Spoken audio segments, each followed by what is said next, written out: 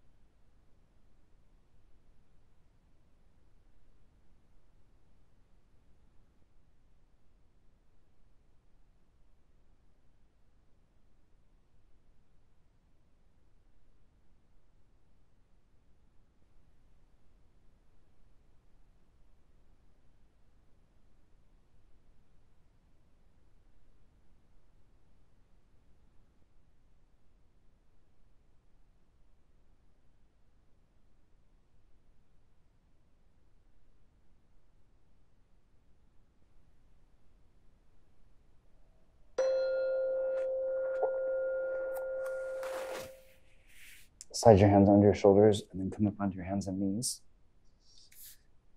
One more pose.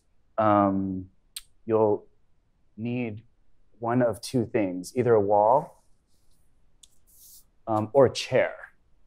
Um, the next pose is simply to take your legs up the wall, and I'll show you for a moment. Um, side saddle up to the wall. Let me grab my timer. Okay, so you get your hips, sit up against the wall with one hip against the wall, and then you're going to take your legs up the wall as you lie back. Okay. And then again, the intention here is not to get your biggest hamstring stretch ever. So for me, if I push my thighs to the wall and flex my feet legs straight and I'm bent at a 90 degree angle, I feel a lot of stretch in the backs of my legs and I'm not very relaxed. So here are a couple of things that I can do to relax. The idea is just to get the feet up, literally with your feet up, not on the ground. Um, you take away your ability for fight or flight, right? You can't run away right now, not very easily anyway, and you can't really fight from this position either. So um, we're forcing ourselves into a very vulnerable position, into a position um, of relaxation, okay, getting the feet up. So from here, this might be a lot for some of you, um, especially if the hamstrings, the backs of your legs, your upper legs are really tight. So you could do this pose if you have a chair, uh, like a folding chair or dining room chair, whatever. You can rest your heels on the chair so that they're supported. Um, you could rest them on the couch. You can rest them on your coffee table. Um, just something for support. And then your feet are above your hips. They're off the ground to allow you to relax. Okay. I'm going to turn back this way. A couple of other things that you could do. For me, I'm going to move a little bit off of the wall. So my hips are maybe six inches off the wall. And uh, I'm not challenging my hamstrings nearly as much. Okay. And then, um, so the backs of my heels on the wall, and then I'm just a little bit off of the wall. A couple of other things that you could do. Um, some of you might like taking your feet wide. If this starts to stretch or stress the inner thighs, your adductors, that's going to be too much. Um, the intention is not to get the stretch here, uh, at least not for this particular pose for this class.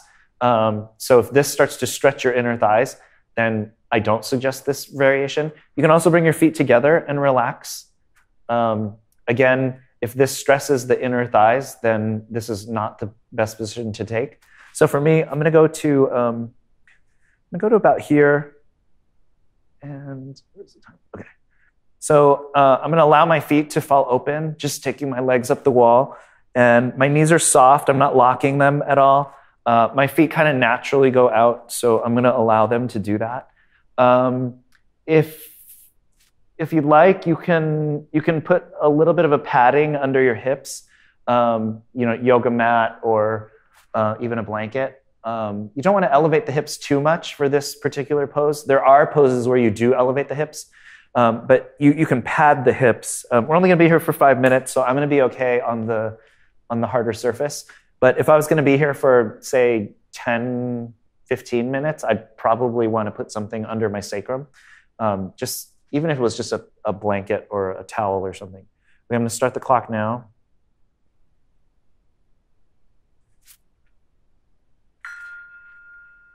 Arms by the sides, turn your palms up. You can have the hands just, just kind of naturally by your sides. So your arms aren't way out to the sides, um, but they're not squeezing in towards your hips either. They're just sort of falling naturally by your sides. Feet about as wide as your outer hips. Just let the feet go out so you're not holding your feet. Like if you make me point my toes forward, I would have to hold this. And I'm not trying to push them out either. I'm just letting them be relaxed. And then close your eyes. Just for a second, wiggle your shoulder blades onto your back and then soften The idea is to soften everywhere, to release and let go of any tension. There's nothing to do except be quiet, to be soft, to relax, to allow yourself to be supported by the ground and the wall.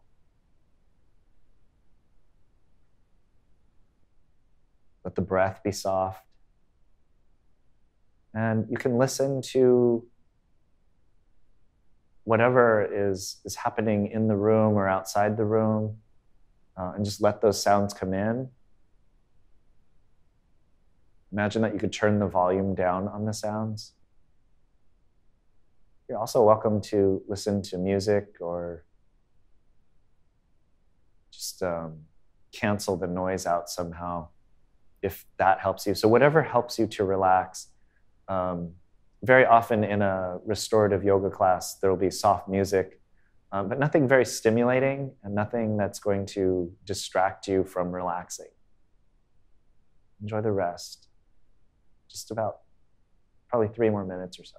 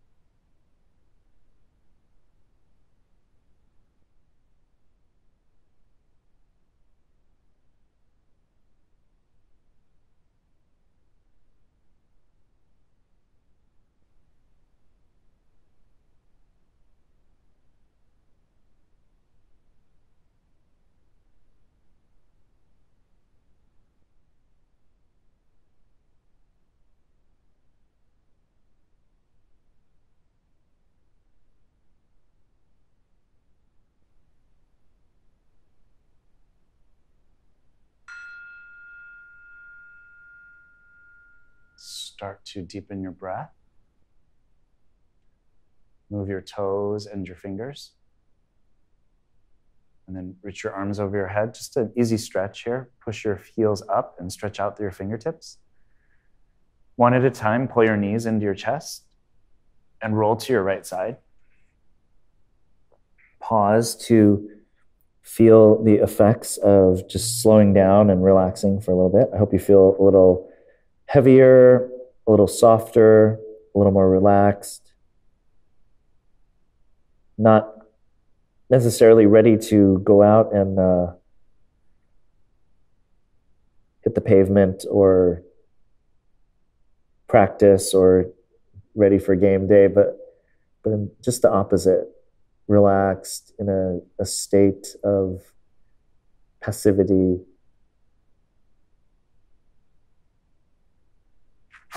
You can stay there or push your way up to seated.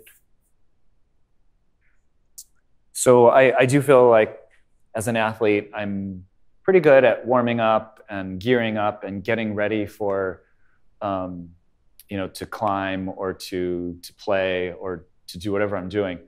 Um, I'm not as practiced on the other side. Sure, we we might cool down in yoga and do a couple of twists and forward bends and things, um, but the this restorative practice is kind of like. Um, so I'm good at gearing up for the day, grabbing my coffee, uh, getting ready to get out the door, um, revving myself up for the day, and then eh, when I get home at night, I'm maybe you know going through social media or watching TV and I'm not as conscious about how I'm winding down at the end of the day, except for when I do some of these poses.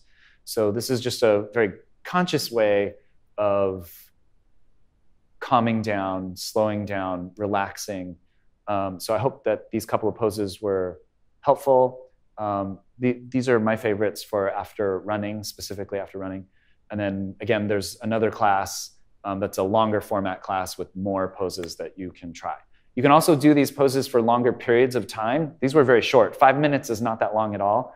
Um, really, to drop into the parasympathetic nervous system, they say, they say that, you know, 10 minutes just to drop into the parasympathetic to relax, and then another five minutes to stay, to be in the parasympathetic and, and allow those benefits to happen. Cortisol levels to drop, stress hormones to drop, um, allow the muscles to relax.